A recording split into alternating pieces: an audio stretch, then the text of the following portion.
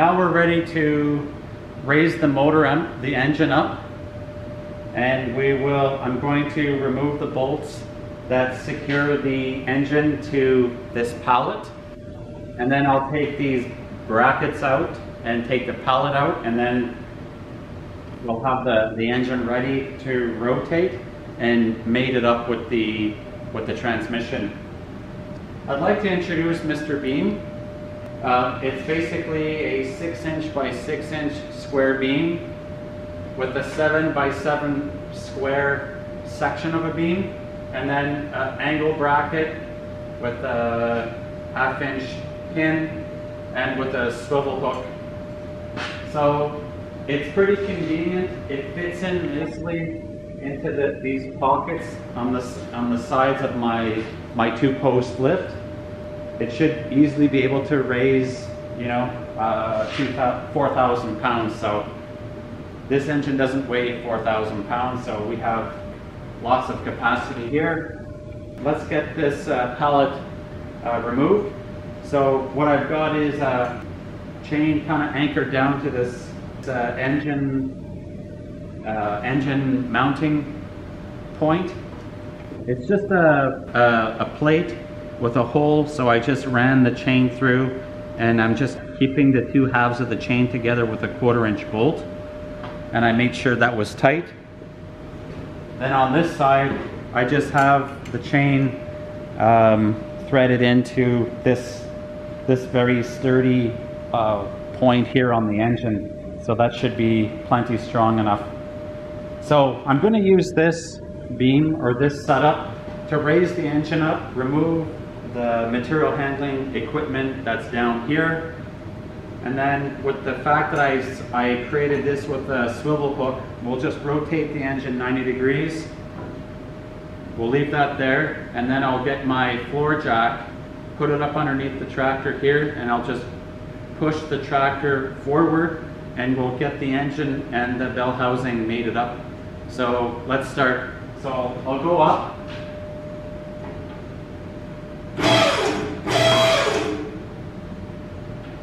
Okay, so I'll grab my half inch socket, ratchet, three, I think this is three quarter inch, seven eighths.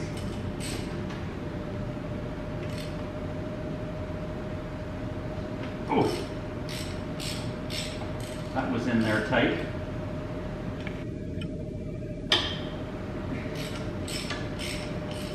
We need to keep these bolts because these bolts here are used to to secure the engine to the the front frame rails.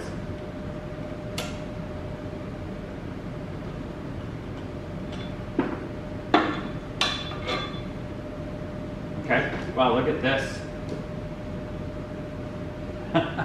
look at the size of this angle iron. That's like half inch thick. And look at the size of that bolt.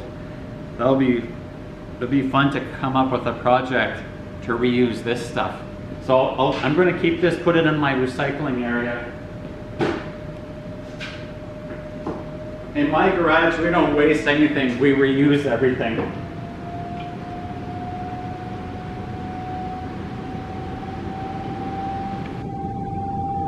What you hear running in the background, that's my propane fire, uh, my propane furnace, which is heating the garage. So here's another, another segment right here.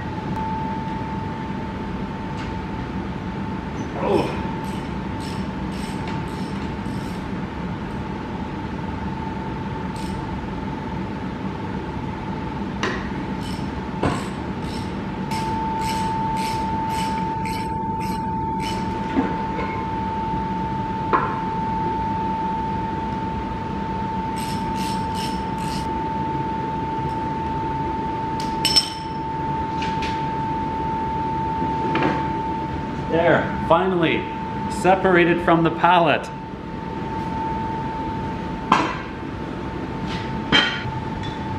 Thing is, this jack is is uh, very weak, and very,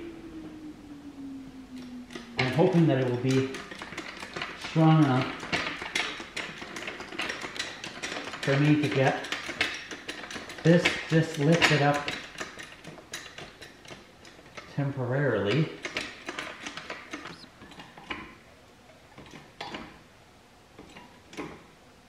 Now the problem with this jack is, is that it doesn't, it comes down.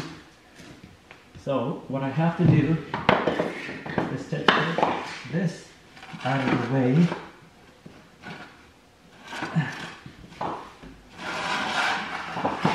And move this guy here.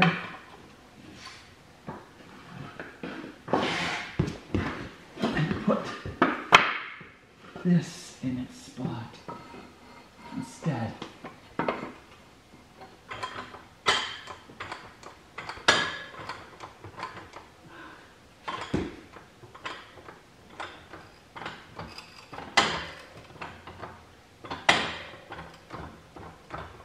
What we're going to do is I'm going to rely on the floor jack to be the wheels to draw the to draw this forward. Uh, I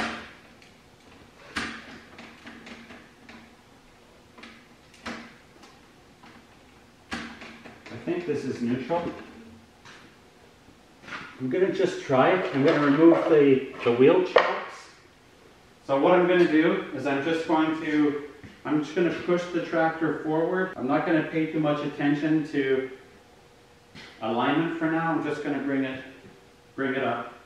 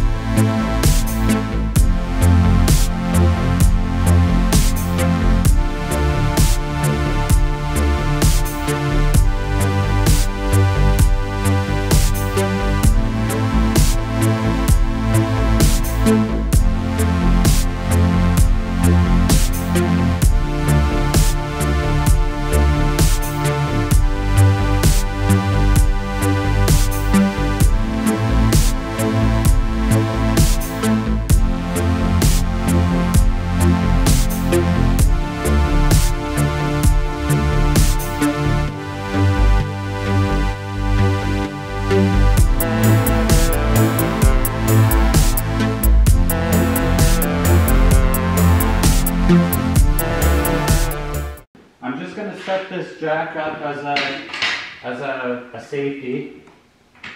Or, you know what I'll do instead?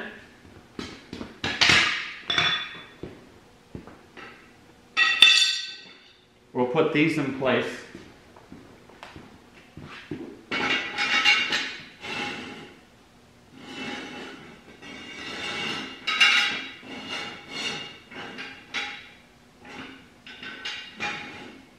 I'll put that in place just as a, as a safeguard for now. Okay? So if the jack, if the jack fails, it, it will just bottom out on, on that. Okay, so I like that. That's safe.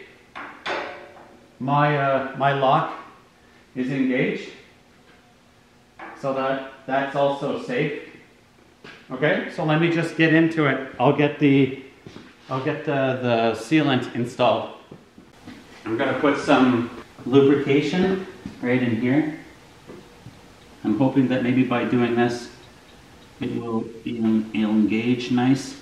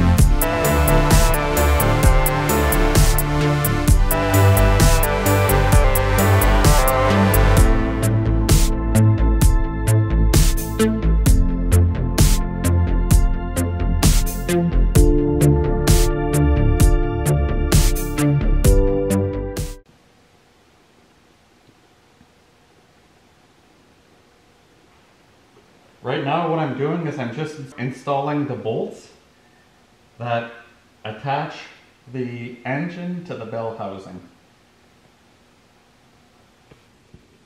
So I have the majority of them in now. I think all I have left to do is to put in the remaining two. Oh, let's go give just a little bit of a, of a torque for now.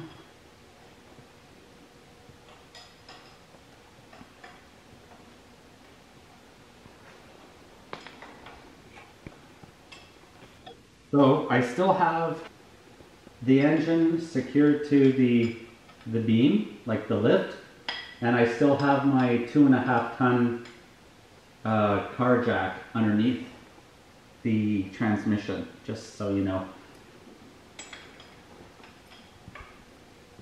And I have a, um, a, an engine span propped up underneath the engine as well. So I have multiple multiple um, securing points, if you will. We'll come back in here after and tight torque these bolts down. Right now I just want to get the bolts in place. So I have two bolts down below in and I have two up here.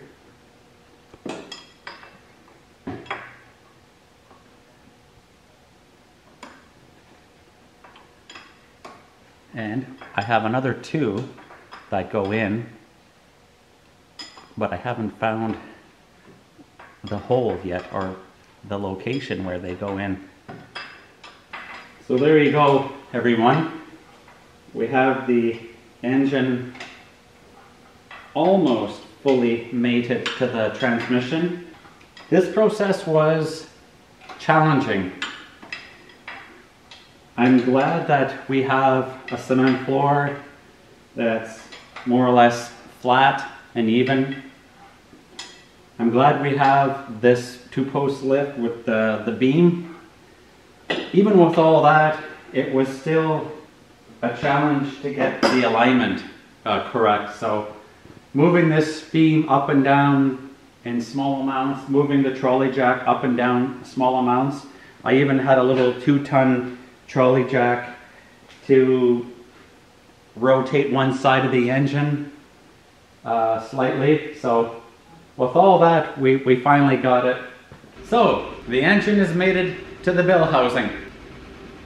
There it is in all its glory. The three cylinder engine is now fully mated to the bell housing or the, the transmission part of the tractor.